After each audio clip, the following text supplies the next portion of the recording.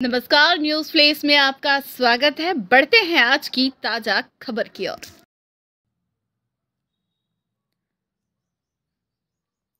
खबर नसीराबाद से, जहाँ दिगंबर जैन धर्मावलंबियों की ओर से बुधवार को जैन धर्म के छठे तीर्थकर भगवान पदम प्रभु का मोक्ष कल्याणक श्रद्धा पूर्वक मनाया गया इस अवसर पर जैन धर्मावलंबियों की ओर से प्रातः मंदिरों में कलशाभिषेक शांति धारा व अष्ट द्रव्यों से विशेष पूजा अर्चना की गई।